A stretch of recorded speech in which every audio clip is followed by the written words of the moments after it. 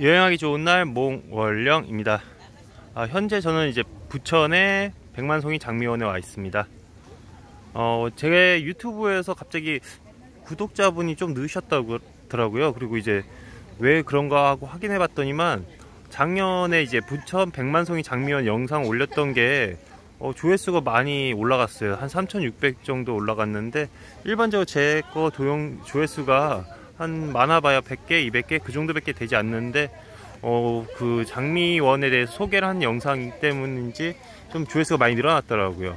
그래서 이곳에 대해서 이제 올해 2023년도의 개화 상태를 다시 한번 보여드리려고 왔고요.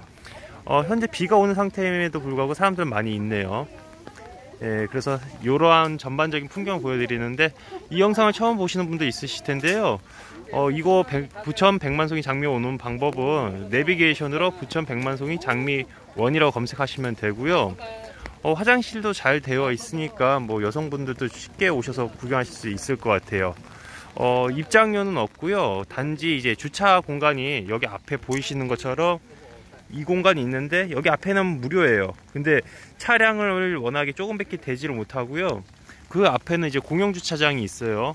여기도 여기 같은 경우는 이제 최초 30분은 300원 그리고 그 이후 10분당 200원이 되겠는데요. 여기도 차를 대략 주차하기가 쉽지는 않아요.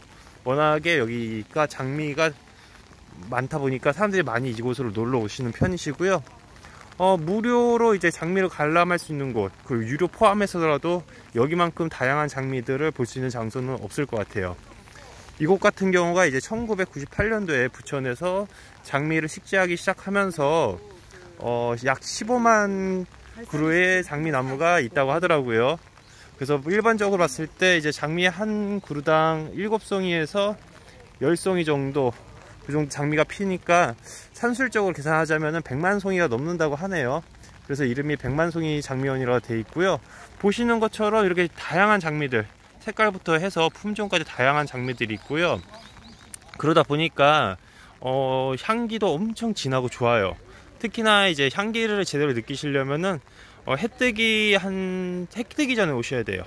해가 뜨고 나서는 이제 장미 향이 어, 많이 약해져서 이제 그 진정한 백만송이 장미원의 그 느낌을 얻을 수가 없고요. 보시는 것처럼 이렇게 끈 장미송이도 있고 어, 이렇게 경치도 예쁘고 하니까 어, 서울과 수도권에서도 많이 오시는 것 같더라고요. 어, 다른데 여기 말고도 인천에서도 이제 뭐 그 계양산 쪽이라든지 인천대공원이라든지 뭐 서울에는 올림픽 공원이라든지 그러한 장미 공원들이 있는 걸로 알고 장미원들이 있는 걸로 알고 있는데 거기하고는 이제 비교가 되지는 않을 것 같아요. 여기가 아마 수도권에서 제일 큰 장미 공원이지 않을까 싶고요. 예, 형형색색으로 빛나는 모습들이 상당히 좋기 때문에 많은 분들이 찾으시는 장소입니다.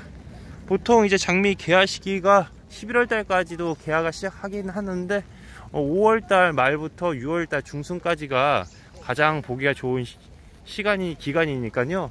이곳에 오시는 것도 좋고요.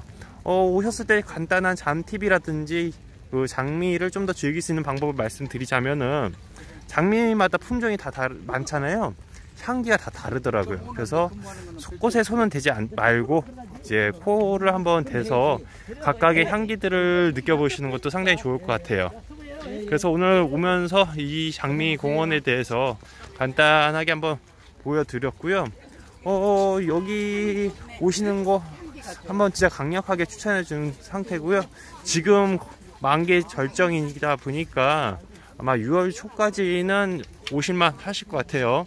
6월 초가 아니라 6월 중순까지도 괜찮아요. 장미가 좀 오래간 꽃이다 보니까 어, 올해 6월 중순 정도까지도 아마 현재의 상태의 모습을 볼 수 있고요. 뭐 그 이후에도 어, 장미는 이제 계속 피기, 피거든요. 한 11월까지 피기 때문에 가볍게 찾을 수 있는 공원인 것 같아요.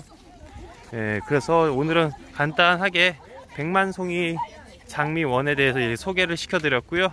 훗날 시간 되시거나 여행지 새로운 여행지 혹은 장미 공원 중에서 제일 예쁘고 멋있는 데를 보시고 싶으시다면 이곳에서 한번 여행을 즐기시고 부천의 다른 여행지도 연계하셔서 오시는 것도 좋을 것 같아요. 그 여행지들은 이제 몽골령 밴드 페이지 여행하기 좋은 날에서 한번 검색해 보세요.